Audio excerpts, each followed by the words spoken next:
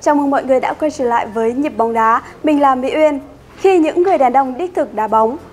Năm 2019, đội tuyển Tây Ban Nha đã dễ dàng đánh bại đội tuyển Thụy Điển với tỷ số 3-0 nhờ các pha lập công của Sergio Ramos, Mota và Oyarzabal để xây chắc ngôi đầu bảng F vòng loại Euro 2020. Đáng chú ý, Ramos nhường quả penalty thứ hai cho đoàn em Morata.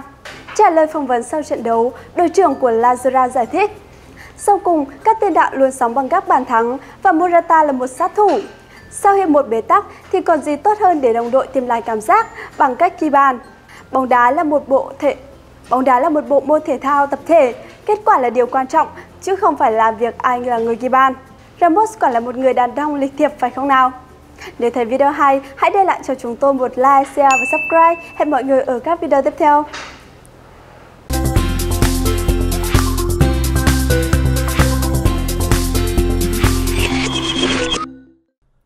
Đã nhiều lần chúng ta được nghe câu bóng đá là trò chơi của những người đàn ông và một người đàn ông đúng nghĩa chính là người nhận ra rằng những đối địch, những thù hận mà chúng ta tưởng rằng có hóa ra chỉ là một cuộc chơi cạnh tranh trong 90 phút. Sau đó họ trở về vẫn là những người đàn ông thực sự biết trân trọng người khác, biết gạt bỏ mọi ganh đua khỏi đầu. Không chỉ là những tình huống fair play trên sân cỏ mà bên ngoài sân đối với fan các ngôi sao cũng tỏ ra rất đích thực và ngay bây giờ, hãy cùng đến với những khoảnh khắc đậm chất đàn ông của các ngôi sao sân cỏ qua clip sau đây. Hồi còn khoác áo Chelsea ở chuyến làm khách trên sân Amex của Brighton thuộc vòng 24 ngoại hạng Anh, Hazard đã tỏa sáng rực rỡ với cú đúp bàn thắng trong chiến thắng 4-0 của đội nhà. Cá nhân tiền vệ người Bỉ cũng nhận được danh hiệu cầu thủ xuất sắc nhất trận không những thế, Hazard còn ghi điểm trong mắt người hâm mộ khi cởi áo tặng cho một fan nhí trên khán đài sân Ames. Cậu bé này đã nán lại sân sau trận, dơ cao tờ giấy với dòng chữ Hazard 10, cháu có thể xin một chiếc áo của chú được không? Cầu thủ người Bỉ nhìn thấy dòng chữ đó và đã tiến đến tặng áo đấu cho cậu bé.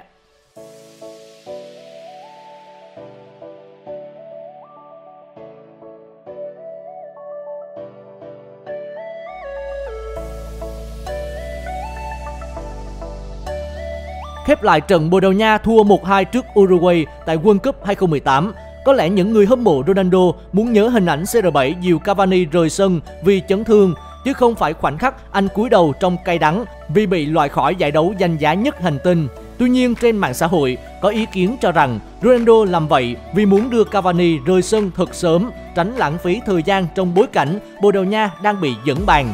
Trong khi đó, về phía ngược lại, nhiều fan gọi đây là khoảnh khắc đầy tinh thần thể thao hay hình ảnh lịch sử của một kỳ World Cup.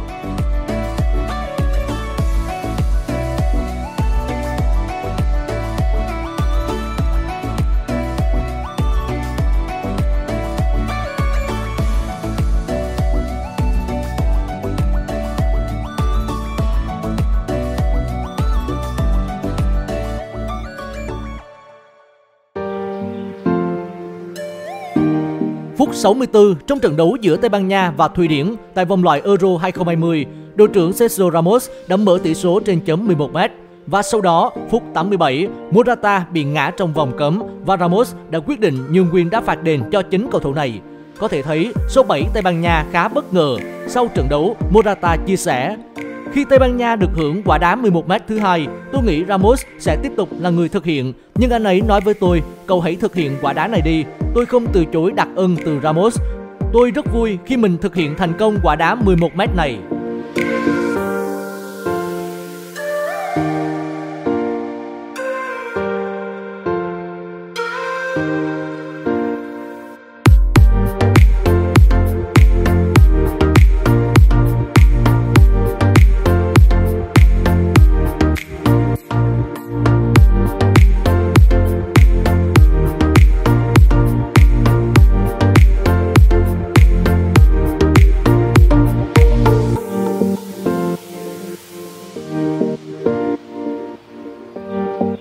Tình huống này diễn ra khi Barca đang dẫn Real 1-0 trong trận bán kết lượt đi cúp nhà vua hồi năm 2013. Sau tình huống truy cản Cristiano Ronaldo, Pique dường như bị cổ động viên Real ném bật lửa vào người. Hậu vệ này nhặt vật thể lạ lên định tố cáo với trọng tài thì Bozon ngăn lại. Chính anh giành lấy bật lửa từ tay Pique rồi vứt ra ngoài, coi như chưa có chuyện gì xảy ra. Với hành động cao thượng của thủ quân Barca, trận đấu đã không bị gián đoạn. Quan trọng hơn, các bên đã tránh được một cuộc tranh cãi mới.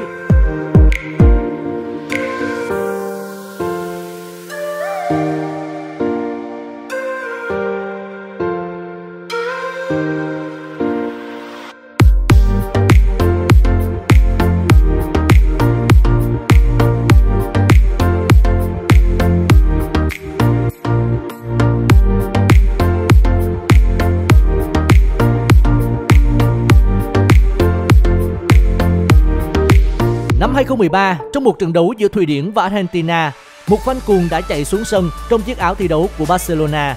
Có lẽ là do quá hâm mộ Messi cũng như được trực tiếp chứng kiến màn trình diễn đầy ấn tượng của idol. Anh chàng kia không thể kiềm chế được hành động của mình và lao xuống sân chỉ để tặng mơ mười một nụ hôn cùng những lời chúc tốt lành cho siêu cầu thủ này. Tất nhiên là Messi không hề có một phản ứng nào thái quá dành cho anh chàng quá khích này và các nhân viên an ninh sau đó cũng đã có mặt kịp thời để hộ tống fan cuồng ra khỏi sân.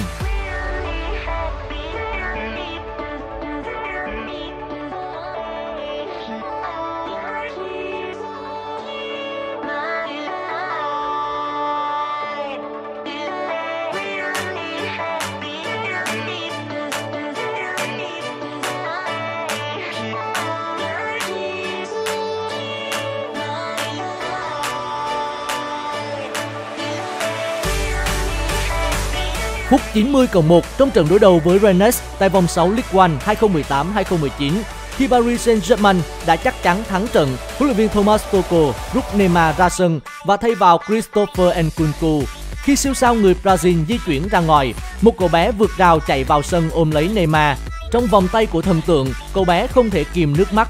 Trên khán đài, cổ động viên PSG liên tiếp vỗ tay vì hình ảnh đẹp này. Trước khi tạm biệt fan nhí, Neymar còn cởi chiếc áo đấu trên người tặng cho cậu bé. Hình ảnh đẹp của ngôi sao sinh năm 1992 nhận sự ủng hộ từ huấn luyện viên Toko, thành viên ban huấn luyện PSG, những người đồng đội và các khán giả trên khán đài.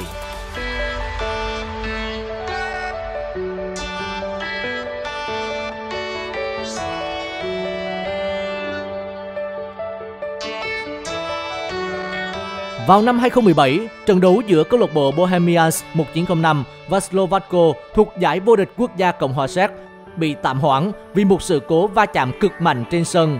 Thủ môn Martin Betkovic của câu lạc bộ Bohemians rơi tự do và nằm bất tỉnh nhân sự sau tình huống đó. Tuy nhiên, cầu thủ Francisco của Slovakia đã kịp thời kéo lưỡi Betkovic, qua đó cứu sống thủ môn đội bạn. Điều bất ngờ là Francisco khi ấy đang ở độ tuổi 26, nhưng anh đã có kinh nghiệm 4 lần sơ cứu kéo lưỡi tương tự trong sự nghiệp của mình để ngăn chặn thảm họa trên sân cỏ.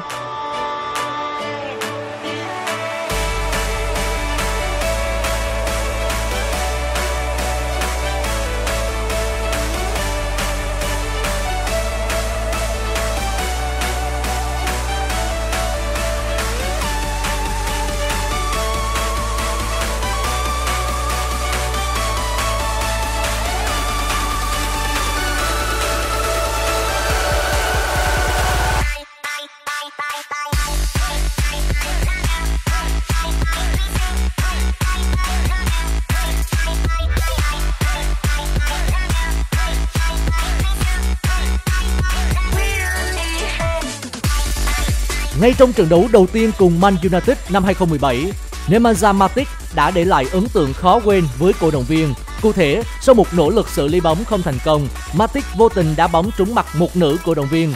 Tình huống này khiến nạn nhân bất đắc dĩ, dù không bị chấn thương nặng nhưng cũng phải ôm mặt đau đớn. Matic lập tức chạy ra xin lỗi nữ cổ động viên và không quên tặng cô một cái ôm an ủi trước khi trở lại sân thi đấu. Hành động của anh đã đem đến tràn cười thích thú cho những người bạn của nữ cổ động viên này. Được biết, thiệt hại duy nhất của cô gái là chiếc kính bị gãy đôi.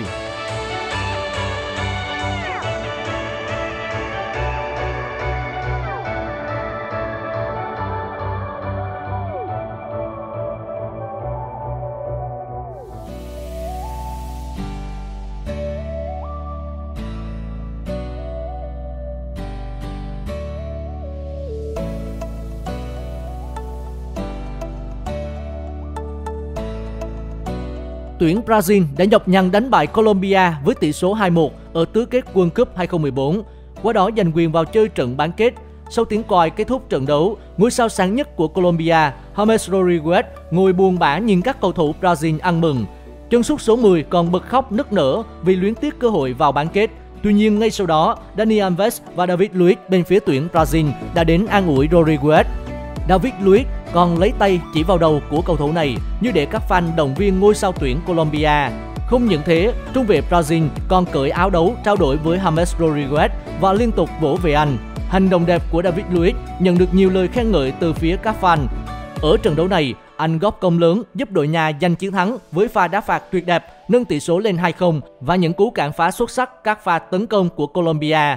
Nhưng thay vì chạy ăn mừng cùng đồng đội, David Luiz đã dành thời gian để chia buồn cùng Rodriguez. Vừa rồi là khoảnh khắc của những người đàn ông đích thực trên sân cỏ. Bạn thích nhất tình huống nào? Hãy để lại bình luận bên dưới video nhé. Cảm ơn vì đã theo dõi. Xin chào và hẹn gặp lại.